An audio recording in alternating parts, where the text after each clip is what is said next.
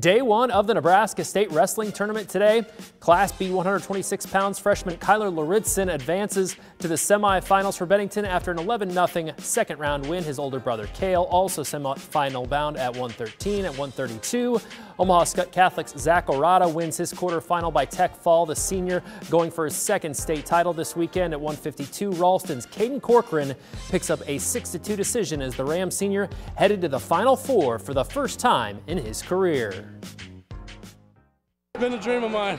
The job's not finished though, so tomorrow we got more work to do, you know. I've been thinking about this for a while. Right now I'm just really excited.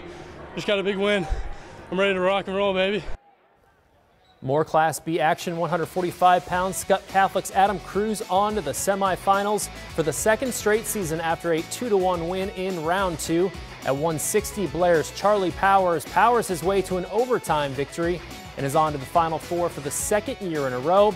At 285 pounds, meanwhile, Omaha Concordia DC West Neil Hartman has two pins on the day to make the semifinals. And finally, at 220 pounds, Boys Town's Jay Ballard will be part of semifinal Friday for the first time after a 4-1 win in the quarters. It feels good, man. Uh, I've been working for this all, all year. You know, I'm just thankful for my teammates, my coaches. They've been there for me. I'm thankful for them. Bennington leads Hastings by five and a half points